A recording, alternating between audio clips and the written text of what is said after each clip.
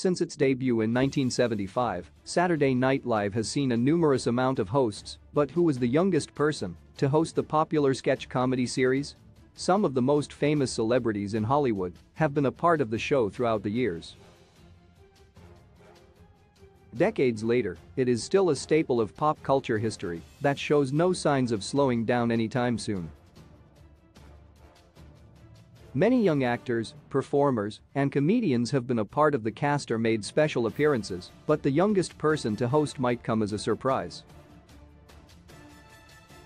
With the overwhelming success Saturday Night Live has received, it's understandable why the team behind the series would want to focus on having big names to host in order to promote their recent projects. The show doesn't refrain from having young stars performing as musical guests, and some of the youngest cast members have gone on to have incredible careers. Pete Davidson and Anthony Michael Hall are great examples of this. Some of the greatest comedians in the world have either gotten their start on the comedy series or have gotten a chance to make a guest appearance.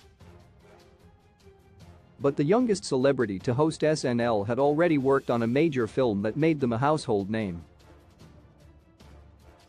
To promote Steven Spielberg's E.T., The Extraterrestrial, Drew Barrymore became the youngest person to host Saturday Night Live.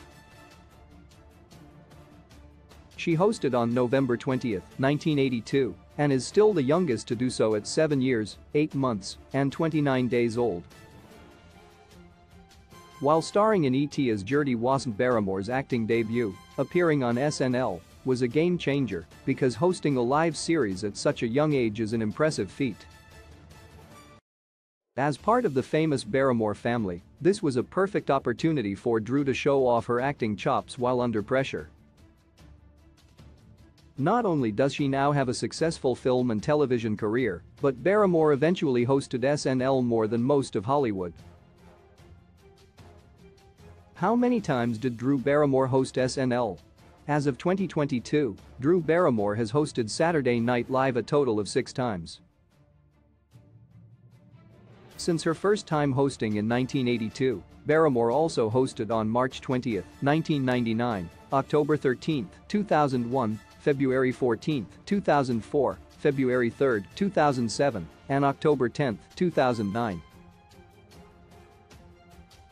When she hosted in 2007, she joined the Five Timers Club, a rare SNL group that includes those who have hosted the series at least five times. This club includes major stars like Alec Baldwin, Steve Martin, and Tom Hanks. Barrymore also made brief cameos on the show on November 18, 2000, April 9, 2005, and January 21, 2006.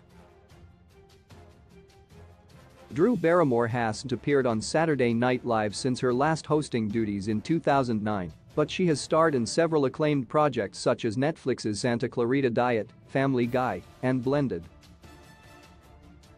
In 2020, she began hosting her very own syndicated talk show aptly titled The Drew Barrymore Show, which begins its third season this fall. Barrymore has had an eclectic career since her first time hosting Saturday Night Live, and maybe she'll get a chance to appear again in the near future.